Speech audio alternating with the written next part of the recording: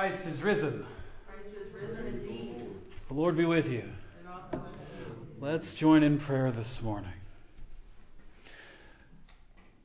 Lord, how wonderful.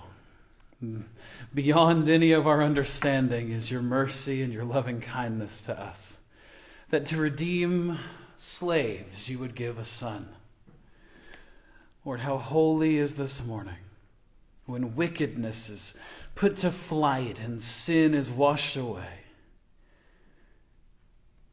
Lord, it restores us who are fallen. It restores joy to those who mourn. Casts out pride and hatred and brings peace, concord, and life.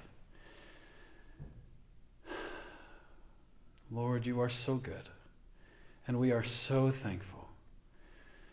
Now may Christ, the morning star, who knows no setting, find his light burning in us always. And may He light that fire anew in us again today as we celebrate His resurrection. In the name of Christ, our risen Lord. Amen. Welcome to our sunrise service. Uh, so glad to see you who have come. It is an early start, I know, but would have been about this time that the ladies would have been making their way to the tomb. It sort of puts all that back into perspective for us, even at this early hour. I know I kind of made the joke earlier Christ may be risen, but the rest of us need five more minutes. But uh, Christ uh, did not waste any time on that Easter morning.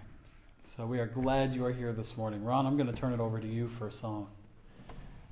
Turn to uh, song number 310, that's 310 in the United Methodist Hymnal. Live.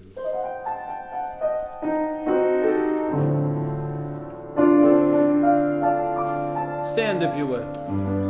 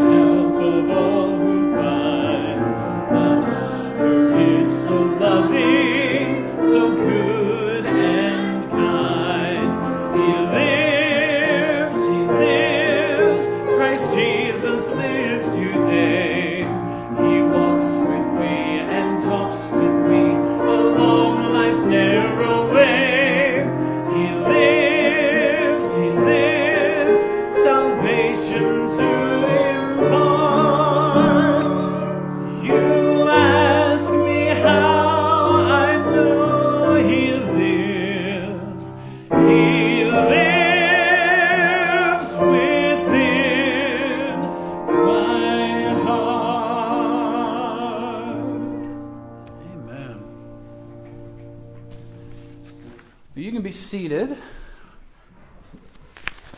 I don't have a long, long sunrise sermon, but I do have a few things that I want to share with you today. This is, uh, I know for a lot of us, it probably is for me, a toss up between Christmas and Easter as to what my favorite day is on the church calendar because there are so many amazing things about them both. But I think the answer is whichever one I'm on at the time because I, I appreciate everything about Lent and all of that season it takes to, to bring us here. I think it reminds us a lot of, of Christ's sacrifice. It reminds us of, of preparation and all of those things. But then when we walk through Holy Week, we get to that night on Thursday when he knew that it was coming. And then we get to Friday when it happened. And as we sort of immersively demonstrated in here, that everything was plunged into darkness and everyone was just jarred into silence. Then we arrive at the early morning like this and find that the light is still burning. This morning is like no other one. I think we can say it's the same in some ways as it was then. It's dark, it's early, it's a little chilly, it's Sunday. Um, now we're at church. Now they would they would have actually gone to synagogue the day before, but we are here this morning. Those things are the same, but still, this morning is different than all the other ones. The story we've been tracing for the last few weeks takes its dramatic turn. And the amazing thing is, and I know when I say story, I'm just talking about what we tell because this is no made up tale. This is no mere story. This is the life of Christ that affects and changes and gives life to all of us. And so let's, if you have your Bible with you, you're welcome to open to Matthew chapter 28. And uh, since we're here gathered in those same early hours, we'll hear again that glorious news. Matthew 28. I'm going to begin at verse 1.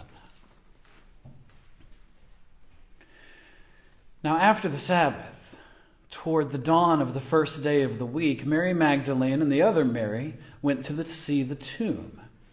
And behold, there was a great earthquake, for an angel of the Lord descended from heaven and came and rolled back the stone and sat on it. And his appearance was like lightning, and his clothes white as snow.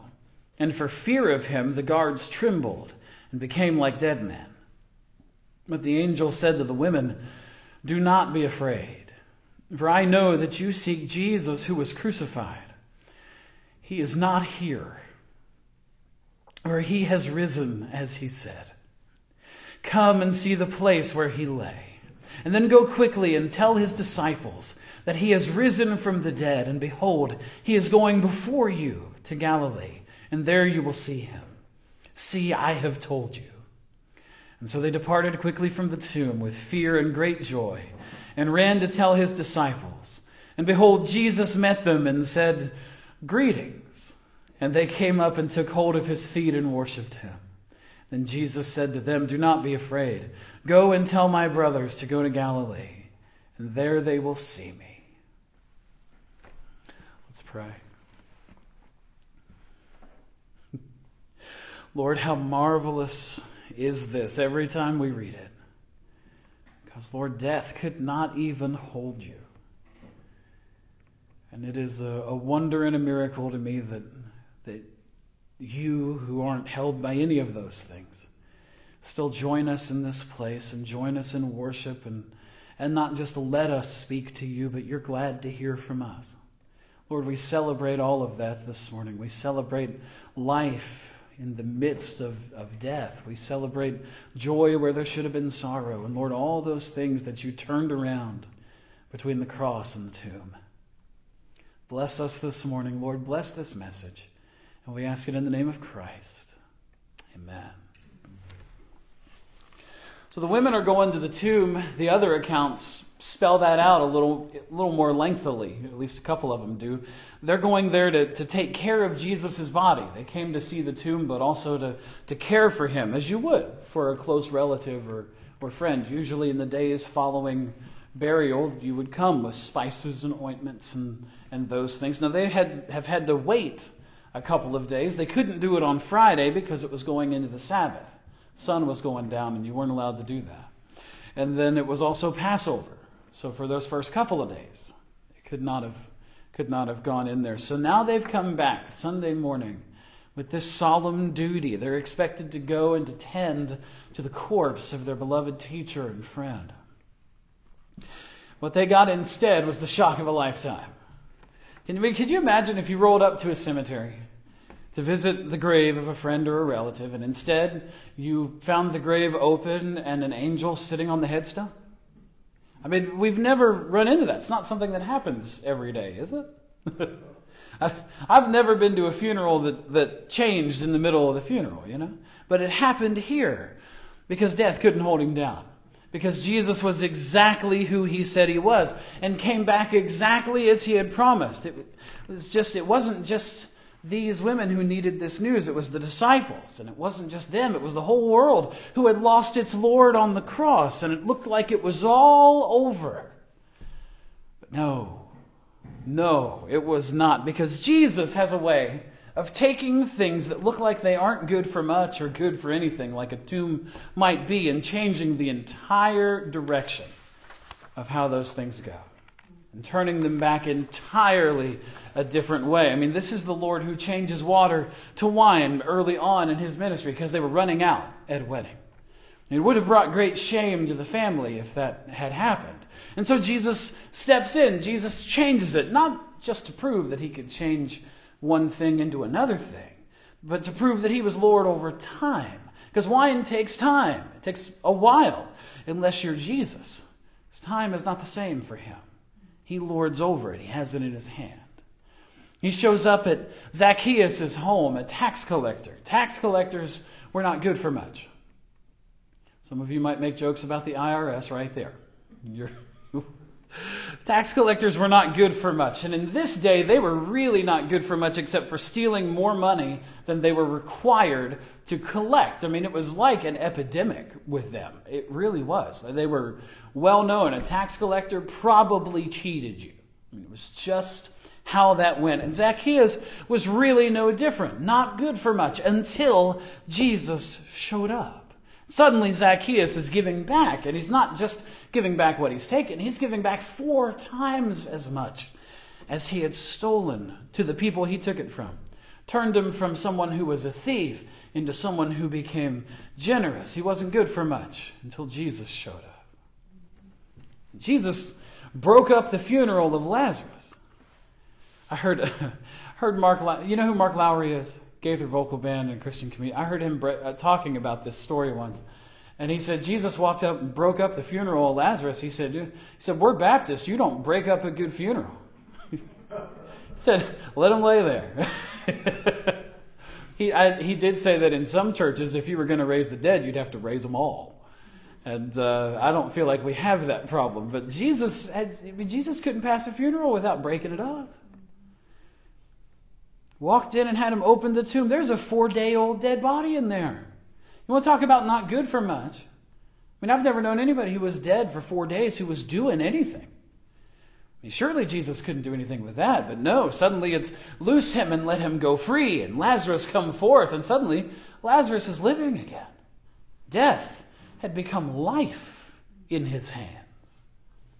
A little boy's lunch to feed 5,000 people people possessed by demons going free again, a Samaritan woman showing up in the middle of the day at an old well just to draw some water. First of all, the women usually came in the morning. She came in the middle of the day to avoid everybody else. Jesus went there right then on purpose and gave her way more water than she could have bargained for. And Jesus has taken these things that might not have seemed good for much and reversed them totally, but a cross a tomb? Hey, that seems like the tallest of tall orders to me. I mean, surely the women were thinking that the events of the last couple of days were it. I mean, they had never seen somebody crucified who they could talk to again later. It just didn't work that way. I mean, this was not a good morning for them at first. Their job was not a good one. It was not a pleasant one. It was not something they wanted to ever have to do. The whole situation was terrible. There are guards and soldiers and a whole lot of controversy, and nobody's safe. I mean, we really don't hear anything about the disciples between Friday and Sunday. And we're pretty sure that's because they were all hiding, except for Judas, and he's not living anymore. This has not been a good couple of days. And so they're sneaking down there because of all this controversy. They're sneaking down here in the early morning, in the middle of all of this not good stuff. And then all of a sudden, it's why do you seek the living among the dead? And when's the last time you went to a cemetery to look for a living person? They didn't go there expecting to find what they found. But Jesus had taken this place of death. He had taken this thing that surely looked like it was the worst of the worst. It wasn't just that it was not good for much, it wasn't good for anything. Why do you seek the living among the dead? He is not here, for he has risen just as he said. The cross and the grave, which looked like they were good for nothing except for agony and grief and despair, were changed completely on that Sunday morning. And the grave became a place of hope. As that light of life is burning, the heart is beating, and Jesus is living again. And, folks, it's the same thing that our resurrected Lord does with us. We might not feel like we're good for much sometimes. Jesus has a way of coming into when we are the most broken, when we are hurting the most, when we feel like we are at the most lost and messed up, and changing all of that stuff, doesn't he? I mean, he doesn't just change things for the better, he changes people. I heard somebody say one time that Jesus did not come to turn bad people into good people. Jesus came so that dead people could live absolutely what he does. And you know what? It did not end at the cross. We do not worship a dead Jesus. The cross holds a lot of, and I'll expand this later because it's the theme of my, my sermon later on, but the cross and the grave hold a lot of empty promises for us. It's empty because Jesus paid the cost once and for all, and it's empty because you and I don't have to go there. The tomb was one massive empty promise because Jesus didn't stay there. He just borrowed it for a couple of days. The promise is that we don't have to stay there forever, that death has become life in the hands of Jesus. All it took him to defeat all of sin and death and hell and the grave was just a couple of nights.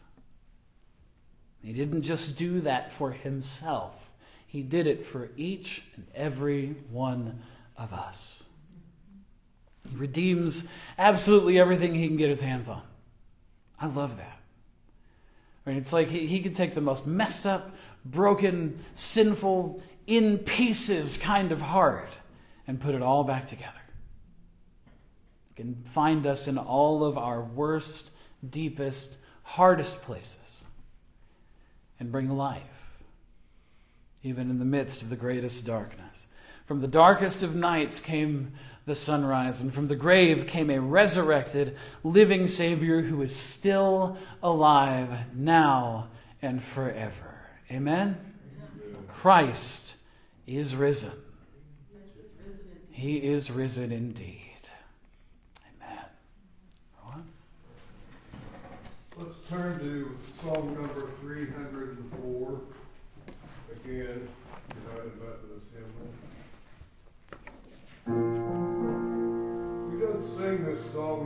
But it is a familiar thing.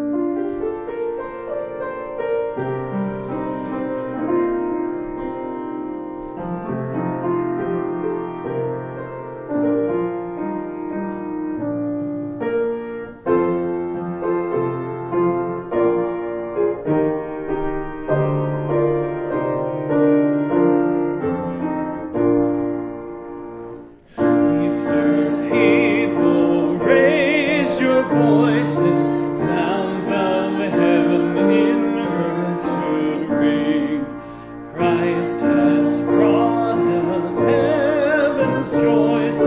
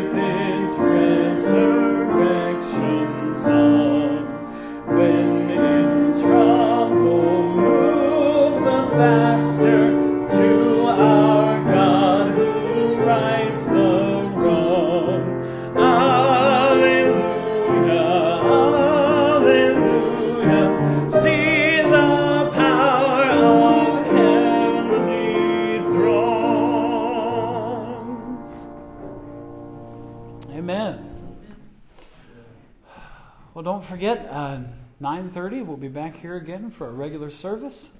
Uh, Mount Tabor at 11, or 11, 11.15 probably for Mount Tabor. We'll move that for 15 minutes for the sake of having communion in both services. It helps us to not be quite so pressed when we begin the second one. And no evening service tonight, also. I'll go ahead and make sure everyone knows that. So we'll see you in a couple of hours. Let's close with a benediction. And now may the risen and resurrected Lord dwell richly with you. May he fill your soul and your spirit with life and with hope and with peace. And may he empower you to live as resurrection Easter people this day and forevermore. In the name of God the Father, God the Son, and God the Holy Spirit. Amen.